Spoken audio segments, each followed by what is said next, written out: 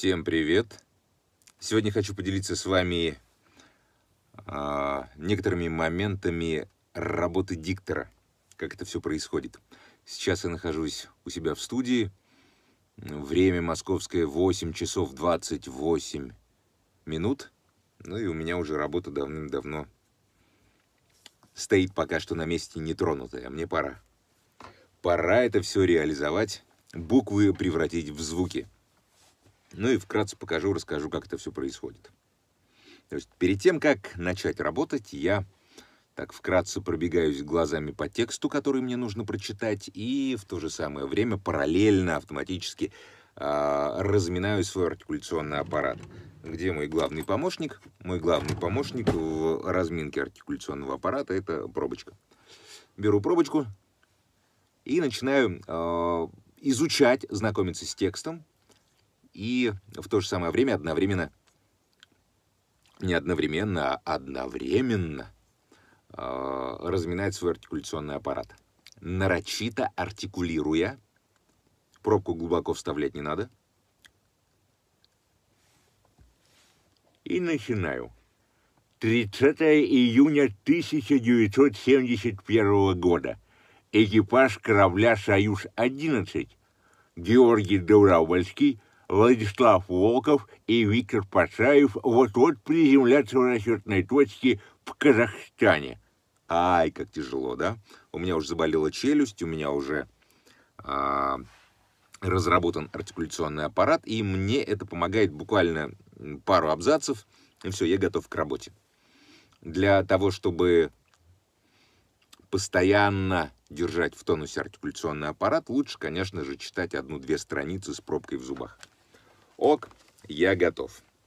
Надеваем наушники, включаю запись. Да, чтобы видели, как это все происходит. У меня происходит это следующим образом. А, секреты рабочего места. Вот. У меня стоит компьютер. Здесь у меня а, программа записывающая. Здесь текст, который я буду читать. Здесь я. Здесь микрофон. Нажимаю запись. И поехали. Что из этого получилось после разминки? 30 июня 1971 года. Экипаж корабля «Союз-11». Георгий Добровольский, Владислав Волков и Виктор Пацаев вот-вот приземлятся в расчетной точке в Казахстане.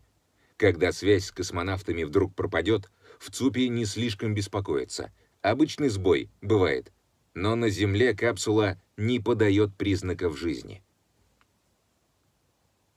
В 1961 году астронавт Газ Грисом должен был утонуть, когда он приводнился в спускаемом, в спускаемом аппарате, вот видите, как бывает, в спускаемом аппарате, сколько согласных звуков рядом.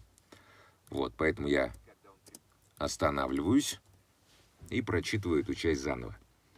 Когда бывают сложности при прочитывании, этих звуков, когда появляются такие сложно выговариваемые звуки друг, рядом друг с другом или появляется сложно выговариваемое слово, э, ничего страшного такого нет, чтобы остановиться и по слогам его несколько раз прочитать. Например, трудно выговариваемое, само слово трудно выговариваемое, поэтому трудно выговариваемое.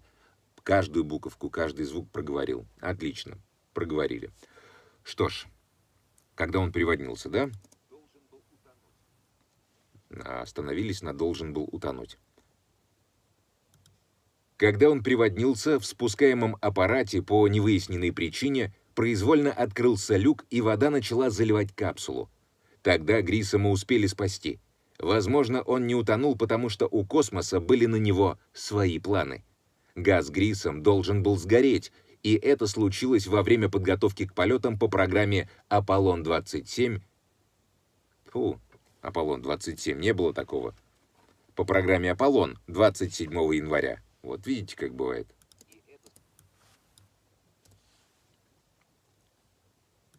И это случилось во время подготовки к полетам по программе «Аполлон» 27 января 1967 года. Но, в принципе, так это все и происходит. Хотите знать больше? Хотите получить больше информации по работе над голосом? А, я в таком случае приглашаю вас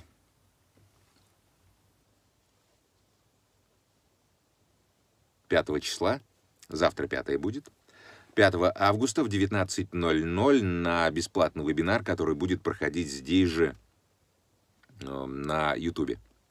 Приходите. Вебинар называется «Красивый голос». Вот там как раз проработаем всю глубину, низы, э, найдем наш природный голос и поработаем немножко над интонацией описание самого вебинара и ссылка на регистрацию внизу. Все, я жду вас. Да пребудет с вами сила голоса. Пока.